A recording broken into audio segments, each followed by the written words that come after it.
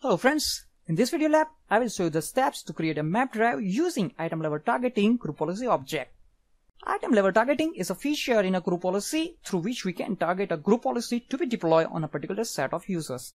In map drive using item level targeting group policy, a group policy object would be linked to an OU but the policy would only be deployed to a set of users that are the member of particular group and not to all the users that are in the OU.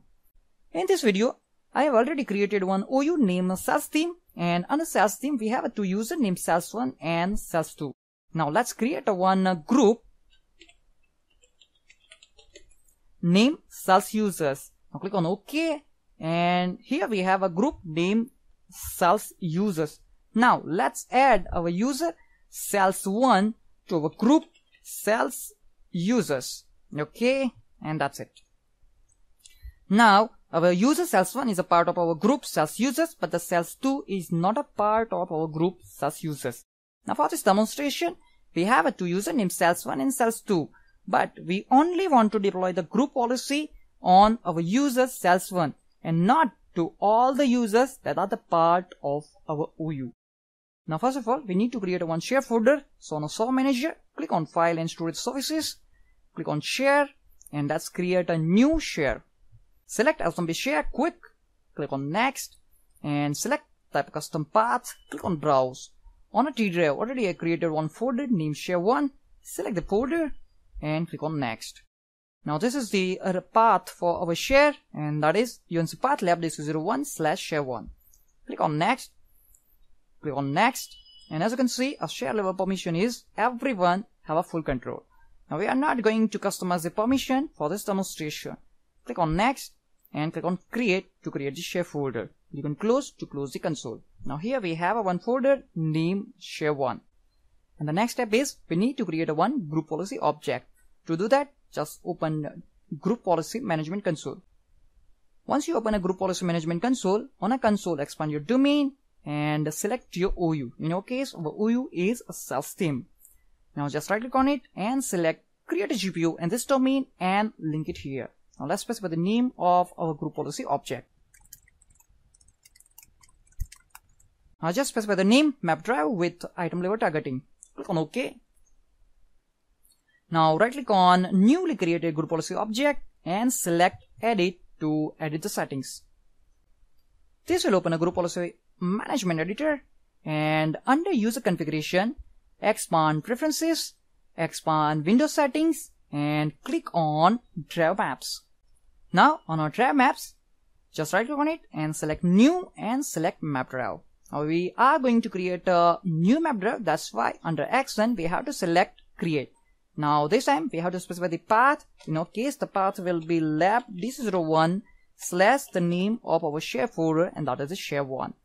If you want to reconnect then select reconnect. Now let's specify the label. It is data and the drive letter will be I select use first available starting from drive letter h. Okay now let's click on apply. And this time we have to click on common. Now here we have to select item level targeting. Click on targeting and this will open a, another console for targeting editor.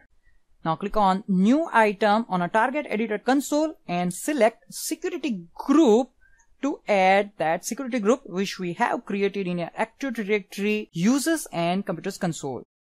Item level targeting can also be deployed for other options like uh, users, site, operating system, domains and etc. Now we have to select the group. So let's specify the group name. In our case, the group name is sales users. Click on check name and click on OK. So this is the group from our domain name MPR TV. So the user is a member of security group name Empire TV slash sales user. You can also create a multiple other combinations by clicking on new item and from here you can also specify the another criterias if you want to use. But for this demonstration, we just want to use the criteria for security group. Click on OK, click on apply, click on OK. And as you can see, now we have a drive letter H. This will create a map drive, the path will be this. Now at any point of time, if you want to modify this, you can just right click on it and select property. Now go for the common, click on targeting and from here you can modify these settings. Click on OK, click on apply and click on OK.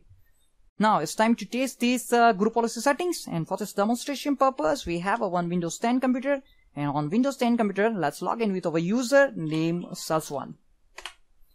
So once you log into Windows 10 computer let's uh, open command prompt and type command gp update slash force to update the group policy. Remember, you have to log in with the user who is a member of our security group that we added in a targeting editor console to verify that our policy of mapping a drive using item level targeting is deployed or not. And in our case, our user sales1 is a member of our group named sales users. Now let's open a file explorer. And as you can see right now uh, we did not have uh, any map drive now let's click on close and let's click on close. Now I'm going to sign out from this Windows 10 system. Now let's again log in with our user sales1 okay once you log into Windows 10 computer with our user sales1 now let's open file explorer and under this PC you can see we have a map drive name data. So as you can see, our user sales1 has map drive name data. Now also want to verify with our user name sales2. So for this demonstration, again I'm going to sign out from this user and we'll log in with our user name sales2. Okay, let's log in with our another user sales2. Let's open File Explorer and under this PC you can see there is no map drive due to item level targeting. So in this way we can use item level targeting with group policy preference. I hope these videos will helpful for you guys. Thanks for watching this video.